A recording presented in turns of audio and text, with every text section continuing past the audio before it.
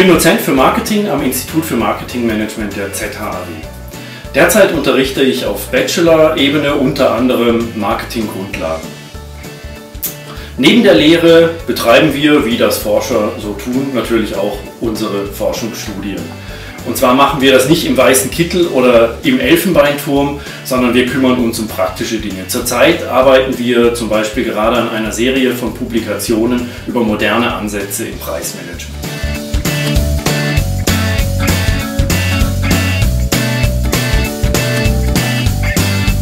Was mir gut gefällt an IMM, das ist im Prinzip, oder das Speziellste daran ist, dass es sehr abwechslungsreich ist. Heute Morgen zum Beispiel habe ich ähm, Marketing-Grundlagen der Übung. Dann habe ich gerade vorher mich mit Arbeitskollegen getroffen, wo wir ein Forschungsprojekt besprochen haben, das wir für große Finanzdienstleister machen.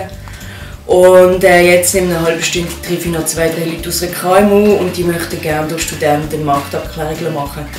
Und so haben wir immer wieder verschiedene Aufgaben mit verschiedenen Leuten und, und es macht es lebendig und das ist das, was mir am besten gefällt. was für Menschen arbeiten überhaupt bei uns am Institut für Marketingmanagement. Wir haben sicher sehr unterschiedliche Menschen, die bei uns arbeiten. Wir haben aber alle gemeinsam, dass wir äh, alle neugierig sind. Das Marketing durchläuft im Moment eine Veränderung, die so stark ist wie noch nie.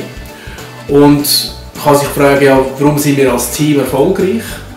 Ich glaube, es äh, existieren erfolgreiche Sportmannschaften und wenn man dort genauer reinschaut, dann sieht man, dass äh, der Erfolg oftmals nicht ist, weil sie Diven im, Team haben, sondern weil sie vor allem gut zusammenarbeiten. Und das ist bei uns auch der Fall.